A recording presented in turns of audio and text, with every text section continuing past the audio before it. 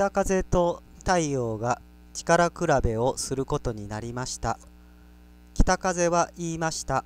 私はどんなものも吹き飛ばすことができるんだ。強いのは私の方だ。北風は言いました。僕はどんなものも吹き飛ばすことができるんだ。強いのは僕の方だ。太陽は言いました。いやいや、君は確かに力持ちだけど、力だけではね。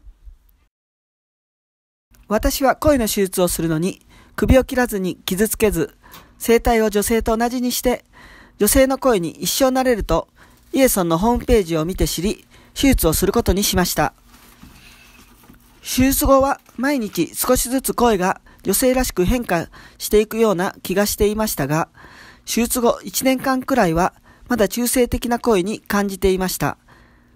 しかし、1年間が経った頃から、急激に声が高く、女性的になってきたと感じました。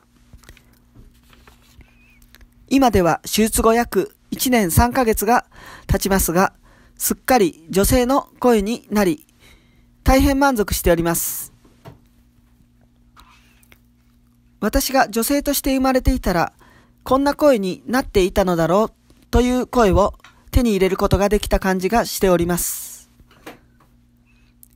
韓国での思い出も声も一生のものになりました。これからも手術をしようと思っている方にも韓国イエソンでの体験をぜひお勧めします。イエソンありがとう